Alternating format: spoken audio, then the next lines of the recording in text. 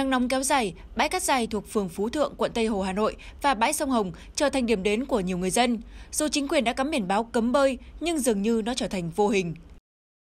Theo ghi nhận của phóng viên báo Sức khỏe và đời sống, một buổi chiều tháng 5 tại bãi cát kéo dài chừng 500 mét, nằm giữa hai cây cầu Thăng Long và Nhật Tân, chật kín người mang theo áo phao ca nhựa. Họ tấp nập đổ về bơi lội, ước tính có đến hàng trăm người. Vào khoảng từ 15 giờ 30 đến 16 giờ, người dân đổ về đây rất đông. Điều đáng nói là rất nhiều trẻ em ra sông Hồng để giải nhiệt.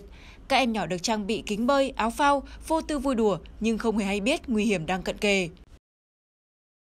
Với thời tiết nắng nóng như hiện nay, bể bơi không đáp ứng được nhu cầu của người dân thì việc tắm sông đã trở thành thói quen không chỉ của người lớn mà còn của các em nhỏ.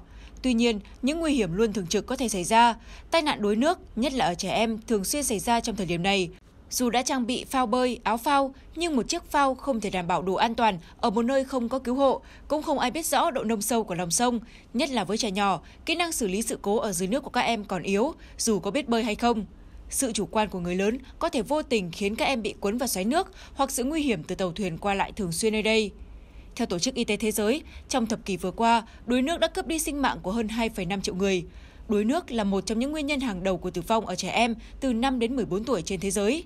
Vì vậy, các gia đình cần hết sức thận trọng khi chọn chỗ vui chơi cho con trẻ để các em có một mùa hè bổ ích và an toàn.